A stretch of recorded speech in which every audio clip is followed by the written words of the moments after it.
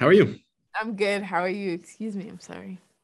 No, I'm so I, obviously we haven't seen the series yet, but from what everyone has been saying, your character is incredibly, indelibly important to this series, and there's a lot of interesting twists and turns. And I feel like I want to know from your perspective, what do you feel like this character adds to the Star Wars universe that wasn't there before and changes our understanding in some way, without saying too much, of course? You know, this is such an interesting question, and by now I would hope that I had a better answer for it, but I think I think in terms of you know comparisons to what we've seen before and of other characters, I feel like I would not be a good judge of it. I feel like that's something that fans like have to see and have seen other things to be able to go, okay, I get it. But if I answer it, then I feel like I have to tell you why. So I don't know if that's a good answer or not, but yeah. Well, let's talk about your own journey into the character. Like, what did you find to connect with, and what resonated with you most personally? Just her ability to hear a no and go, okay, that wasn't actually a no. you know what I mean?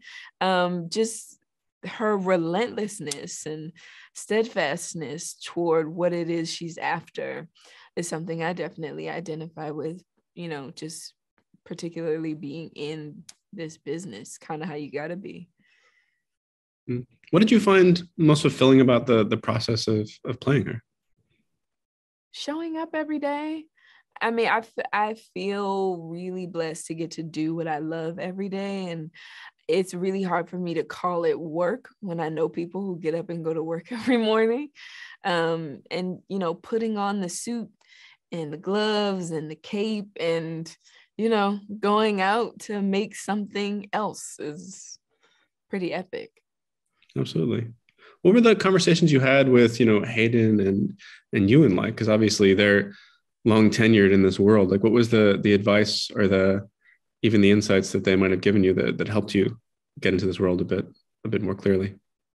They've certainly um, laid the foundation for this world and have been really great about welcome welcoming me um, into the fold and it's been interesting lately too on this press tour listening to them talk about their first reactions and sort of how it's like changed over time and um you know what it's done for them as people and as men and um i think one thing i've gotten from it is however I feel about it at the time it comes out is sure to grow and shift and change in the years after. And so it's a journey, I think, is a thing that I've gotten from them. And I'm excited to be on it.